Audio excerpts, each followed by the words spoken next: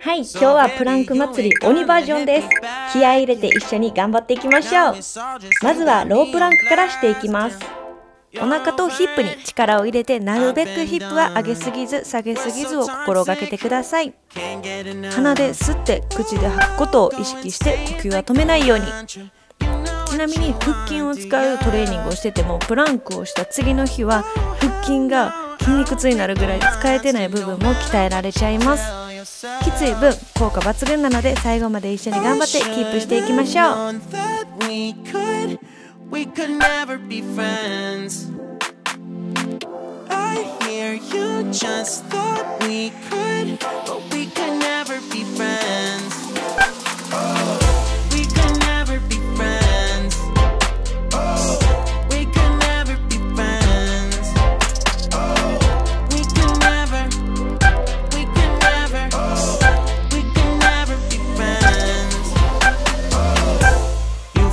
お疲れ様です。20秒間休憩しましょう。2つ目はショルダータッププランクです。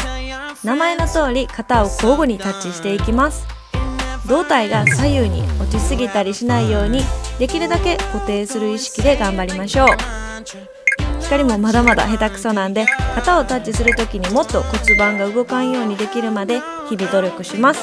一緒に頑張ってくれたら嬉しいです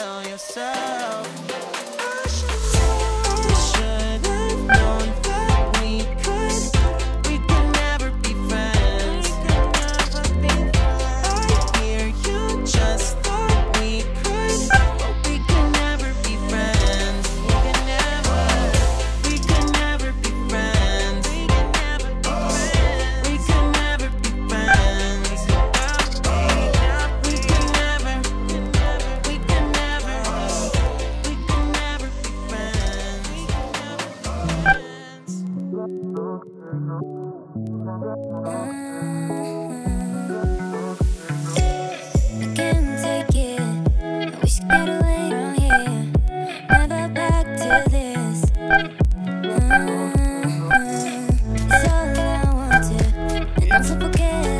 疲れ様です。20秒間休憩しましょう。では3つ目はアップダウンプランクです。ロープランクとハイプランクをしていきます。なので肘を交互についていきます。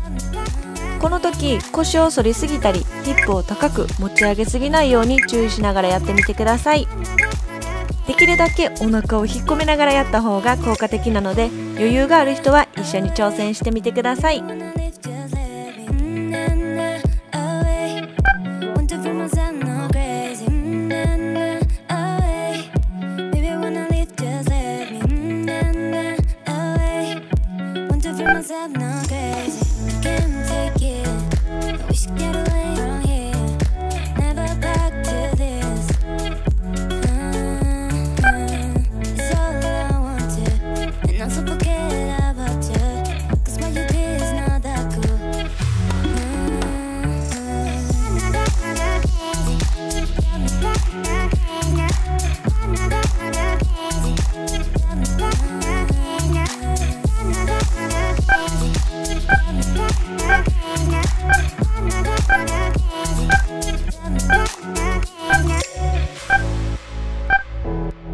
疲れ様です。20秒間休憩しましょう。最後は膝を突き出すプランクです。腹筋が下がる状態は良くないのでしっかり腹筋に力を入れて重心を下げないように心がけていきましょう。膝を持ってくる動作で体幹を強くするお腹周りの筋肉が鍛えられるので肘に近づけるように膝を曲げてください。これはプランクの中でも最強にきついので最後の追い込み頑張っていきましょう。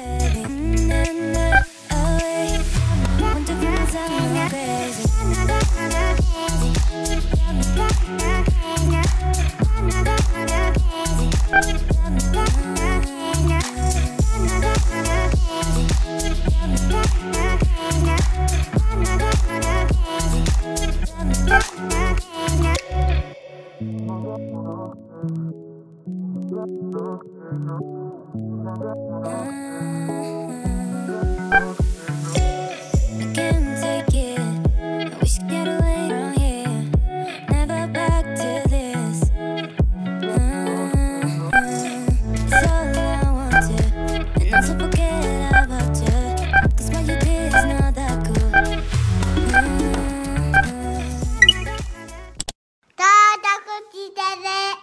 皆さんお疲れ様でした。一緒に頑張ってくれた方ありがとうございます。